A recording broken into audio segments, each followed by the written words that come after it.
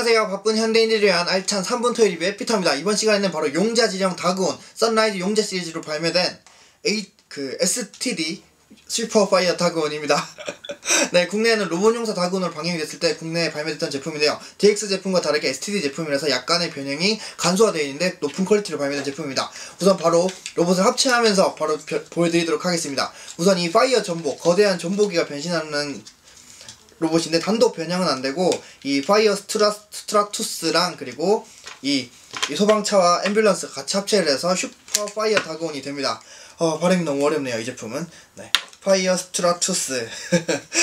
네, 점보기 이렇게 기수가 됩니다. DX, deluxe 제품은 이렇게 양쪽으로 나눠지는데 STD 제품이라서 이렇게 다 직접 분리해서 다시 꽂아줘야 됩니다. 그리고 몸통 안에는 이 파이어 스트라, 스트라투스라는 이 경찰차를 수납할 수 있고요. 이 조그만한 파이어 스트라투스는 개- 그 변형이 안 됩니다. 원래는 파이어 다그 다그 파이어 다그 파이어로 변신이 되는데 이 제품은 그런 게 안 됩니다. 그리고 이렇게 양쪽 팔에 소방차와 앰뷸런스를 이렇게 결합 결합해주면 이렇게 파이어 다그온의 모습이 완성이 됩니다. 아 그리고 이 뒤에 이 비행기의 이쪽 부분도 이렇게 뒤집어서 날개 위를 향하게 꽂아주면 됩니다. 네, STD는 그 STD 제품이라서 그 굉장히 변형이 간소화되어 있습니다. 그리고 별도의 부품을 이용해서 이렇게, 별도의 부품을 이용해서 건키드 이 거대한 총을 장착해 줄 수가 있습니다. 전 이거를 가지고 놀다가 이 조인트를 부숴 먹어서 지금 테이프로 고정을 해뒀습니다. 이런 식으로 원래 결합이 됩니다. 이렇게. 자, 그 다음 넘어와서 파워 쇼벨. 파워 쇼벨은 뭐냐면 이 파이어 점보 이 거대한 비행기가 파손이 되었을 때 이렇게 등장하게 된 파워 로봇이죠. 파워 로봇. 왜냐면 훨씬 힘도 세고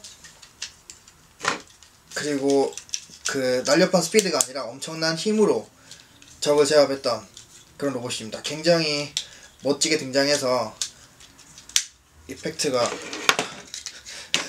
굉장히 좋아하는 로봇인데 이렇게 변형이 됩니다. 포크레인에서 파워 다그온의 모습으로 이렇게 얼굴이 다 수납되어 있는데 이 제품에는 조그맣게 표현된 다그파이어가 들어있습니다. 이 파, 파이어 다그온에는 경찰차 모드가 들어있고 파워 다그온에는 로봇 모드가 들어있어요. 굳이 변신이 안 되더라도 같이 가지고 있는 좋은 제품이죠.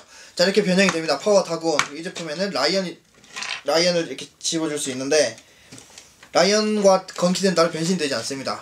이렇게 이렇게 두 개의 제품을 가지고 놀 수가 있습니다. 그리고 이 제품은 바로 최종 합체가 되는데 슈퍼 파이어 다그온으로 합체가 됩니다. 바로 합체를 바로 보여드릴게요. 이렇게 파워 다그온의 발바닥은 이렇게 다, 다리에 붙습니다. 이렇게 끝! 어!